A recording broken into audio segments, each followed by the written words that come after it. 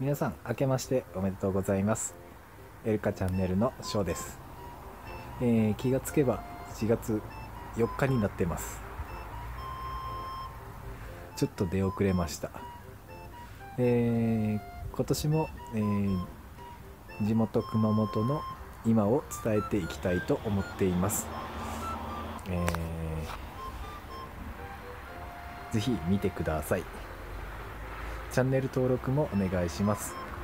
高評価もお願いします。それでは。